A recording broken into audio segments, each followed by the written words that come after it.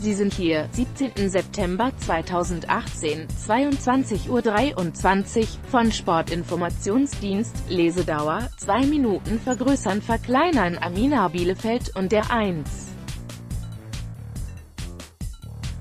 FC Magdeburg trennten sich mit einem torlosen Unentschieden Urheberrecht Getty Images Magdeburg der 1.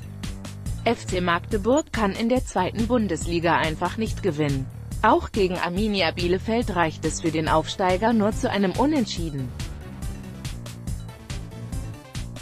Der erste FC Magdeburg muss weiter auf den ersten Zweitligasieg der Vereinsgeschichte warten.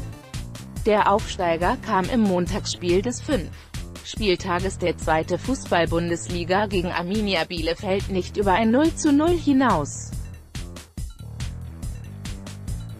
Das Team von Trainer Jens Hertel liegt mit drei Punkten nur auf Platz 16, Bielefeld ist mit acht Zählern Neunter, die Tabelle der 2. Liga, vor 19.794 Zuschauern in der MDCC Arena in Magdeburg starteten die Gäste aus Bielefeld ambitionierter in die Begegnung. Die Mannschaft von Trainer Jeff Saibene konnte sich aber keine zwingende Torchance herausspielen. Live-Ticker zum Nachlesen, Chancen auf beiden Seiten ein zu schwach getretener Freistoß von Florian Hartherz 16. sowie auf der Gegenseite ein Schuss von Marcel Kostli 38.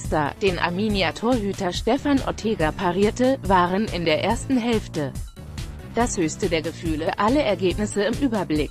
Kurz nach Wiederanpfiff hatte Andreas Vogelsammer die große Chance auf die Führung, doch der Bielefeld-Stürmer scheiterte per Kopf aus kurzer Distanz an FCM-Torhüter Alexander Bruns, 52.